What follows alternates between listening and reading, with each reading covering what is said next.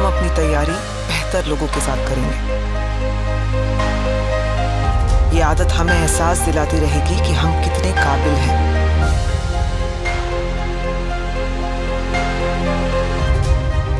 क्योंकि ज़िंदगी में मुकाबला कभी बराबरी का नहीं होगा।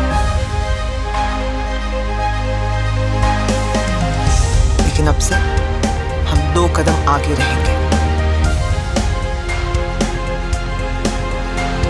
सिर्फ़ एक माँ अच्छी आदतों की अहमियत समझती है, इसलिए मैं उसे रोज बोनवीटा देती हूँ।